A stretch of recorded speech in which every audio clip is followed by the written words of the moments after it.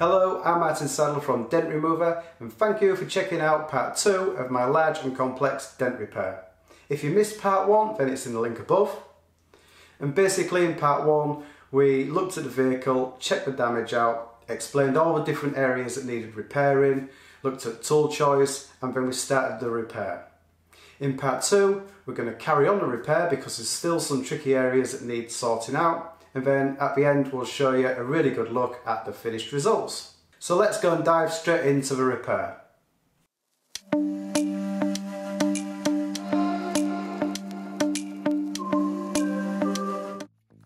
Okay, so just to recap on what I've repaired already, I've cold glue pulled the majority of the dent out, and then I've lifted up the horizontal crease which was just above the factory body line, and then I tidied up the left hand part of the door with that nasty dent.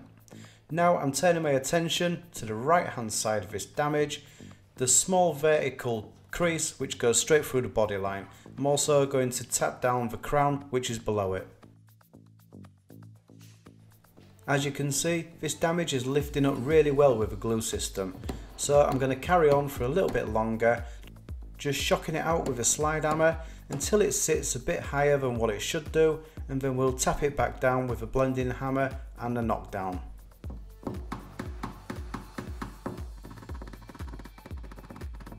There's plenty of tapping going along here and I have speeded it up again because it did take quite a while to start blending it all back in. But once I've straightened out the obvious dents, I can then get my sharp bar in there between the frame and the panel and lift out all the shallower areas.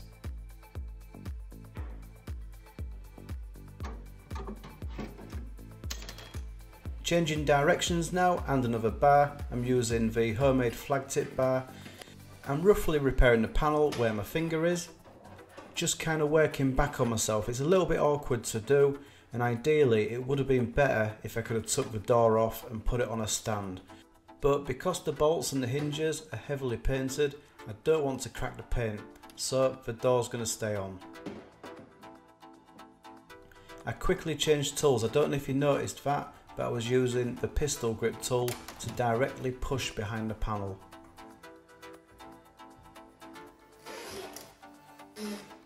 And now I'm gradually working towards the LED light. Just working above the bodyline area cross checking that large horizontal crease that I repaired earlier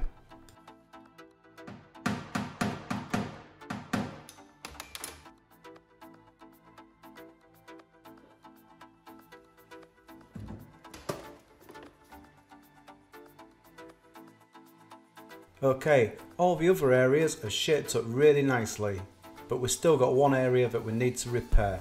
And this is the bottom part. It's a very tricky repair so stay with me and I'll show you how it's done.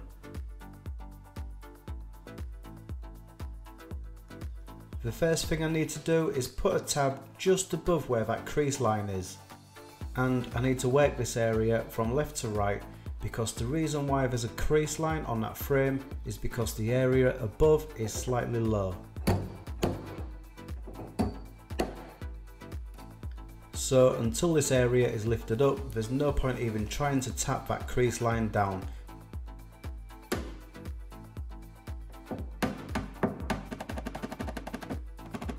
Only when I'm happy with how the panel's sitting above this crease, I can then start to knock it down very carefully, but only using a blunt tip knockdown. Again with this part I've had to speed up the video and you can appreciate just how long it takes to tap this tiny little crease down.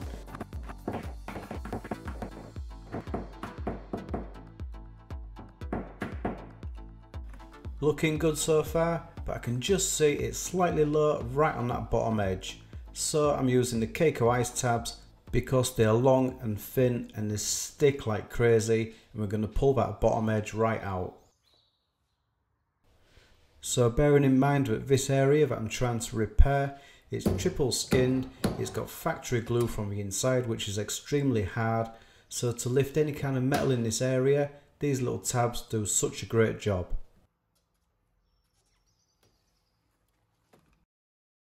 I'm only making small gains from each pull, but the end results will speak for themselves.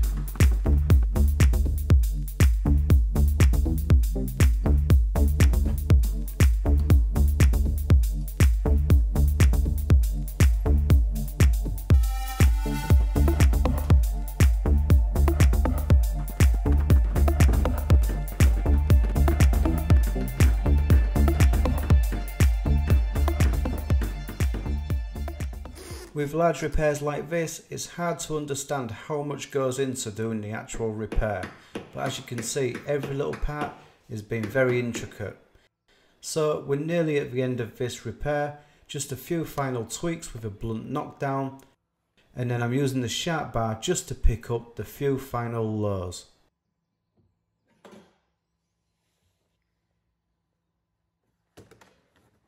Okay, so that's the main door repaired. Let's go take a look at the other one.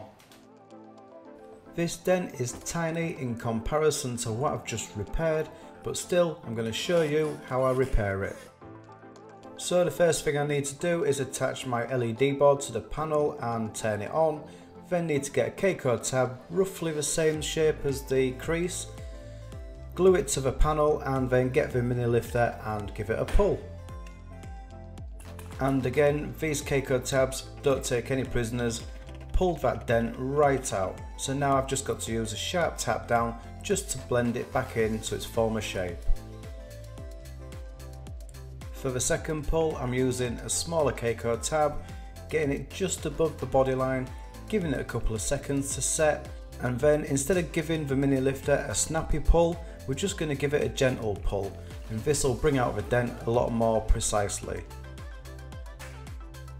Once I've removed the glue tab, just wipe away all the degreaser and then I can tap down all the slight high areas.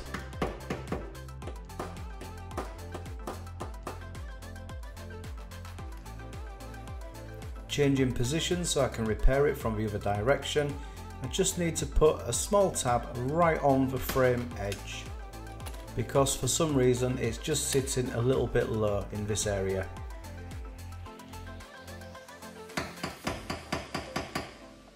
And that's it, we're just about done. A quick look with the inspection board and then we just need to fit it all back up again. Fitting the door back up is simple enough. Once we'd attached the door mechanism rod, clipped the wiring loom back in place and fitted all the sound deadening, we placed this trim back on and carefully tapped the clips back into place.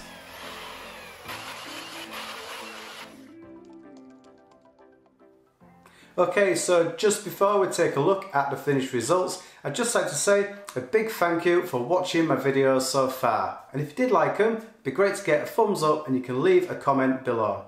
If you didn't like them, then don't be shy, just tell us why. If you haven't subscribed already, it'd be great to get you on board because this really does help my channel grow. You can also tick the notification bell and you'll be notified as soon as I bring out another video.